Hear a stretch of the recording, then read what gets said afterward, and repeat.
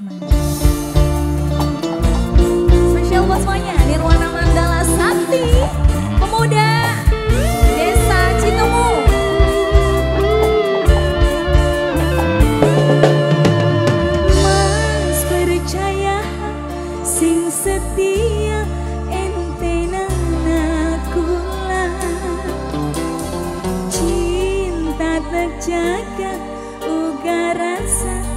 seutuhnya.